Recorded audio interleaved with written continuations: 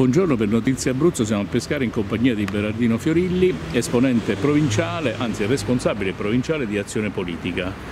Allora, innanzitutto un commento sull'elezione provinciale che ha visto eh, la vittoria del centrodestra con Antonio Zaffiri, nuovo presidente dell'amministrazione provinciale di Pescara. Un suo giudizio sulla campagna elettorale e su azione politica di cui lui, lei è un esponente.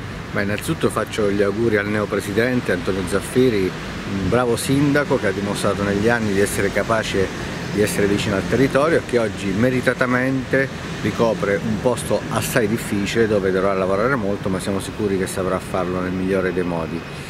Ma credo che questo sia un risultato eccezionale per il centrodestra e credo che abbia un grosso merito in questa operazione tra virgolette di, di messa insieme di tutte le forze proprio la nostra lista civica perché? perché io credo che abbiamo fatto un lavoro semplice ma in, questi, in queste circostanze apparentemente difficili cioè quella di riunire intorno a un tavolo tutte le forze farle ragionare per il bene del territorio e soprattutto riportare le istanze delle, dei cittadini a chi oggi amministra la politica e qualche volta purtroppo dimentica quali sono le vere esigenze dei cittadini credo che le liste civiche, quelle vere, servano proprio a questo, a, a portare il pathos, il sentimento dei cittadini nella politica e quindi riportarle un attimo con i piedi per terra. Le scelte fatte con i piedi per terra per il territorio danno sempre buoni risultati.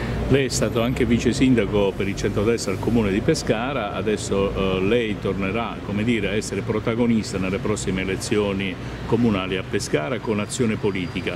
Eh, quale potrebbe essere un suo eh, programma e progetto per la città di Pescara? Beh, la città di Pescara ormai è ferma da quasi cinque anni, questa giunta, anzi magari fosse ferma, direi che siamo tornati indietro, veramente tornati indietro di tanti anni. Questa giunta ha fatto danni, eh, in qualche caso forse irreparabili, che comunque richiederanno tantissimo tempo per essere rimessa su.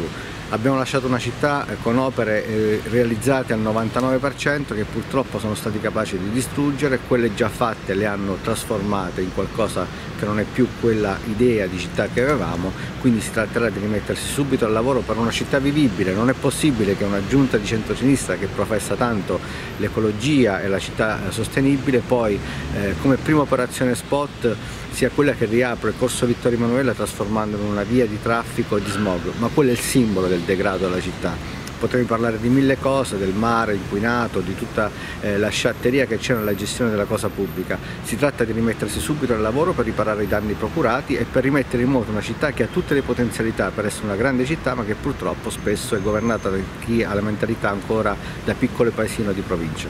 Bene, lei aveva annunciato un'iniziativa sulla sicurezza a Pescara, sicurezza che lei ha annunciato ehm, come uh, azione politica, eh, come iniziativa anche di azione politica. Quando ci sarà eh, questo convegno, dibattito? Il convegno ci sarà al 99%, ancora siamo in definizione degli ultimi particolari con i relatori che quindi è difficile mettere insieme, il 16 eh, di novembre, quindi questo tra, tra, pochi giorni. Se non fosse così lo diremmo, lo confermeremo a breve. La sicurezza è un tema importante perché non è soltanto un problema di ordine pubblico, ma è un problema di come impostare la vivibilità in città come volere la propria città e far sì che sia una città vivibile per tutti. Su questo stiamo lavorando da anni, lo stiamo facendo sia con la tecnologia che oggi ci dà un grandissimo aiuto per poter far sì che alcune zone, quelle eh, non che non è possibile presidiare continuativamente, siano comunque presidiate da sistemi di telecamere intelligenti che nella città già abbiamo o avremmo se le facessimo funzionare, così come tanti altri piccoli accorgimenti che eh, rendono una città non soltanto bella ma sicura e quindi vivibile vivibile. Bene, ringraziamo Berardino Fiorilli di Azione Politica, lei è responsabile provinciale sì. per Pescara. Grazie a lei, buon lavoro.